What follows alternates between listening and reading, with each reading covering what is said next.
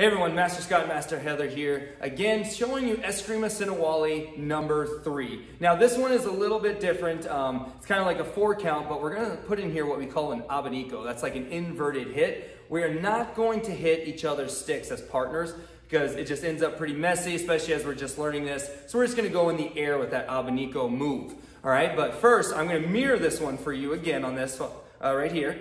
We go high forehand, low backhand, and then we come up and invert the wrist for kind of like a inverted backwards strike, inverted forward strike.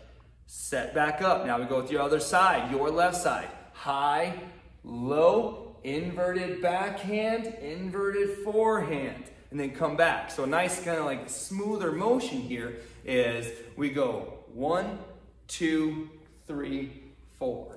One, two, three, four. So we're not gonna hit with our partners on the top here. So we're gonna go nice and slow with Master Heather here. And we start with our right side together. We go high forehand, low backhand.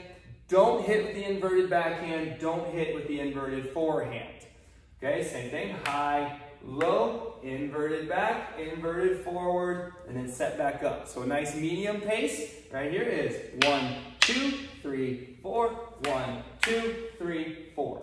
We just want to introduce you to that abanico move and start really getting those wrists nice and flexible and ready for when we are more advanced and are more experienced, now we can possibly start uh, making contact with those sticks with that abanico move, okay? So that's Sinawali number three. Thanks, you guys.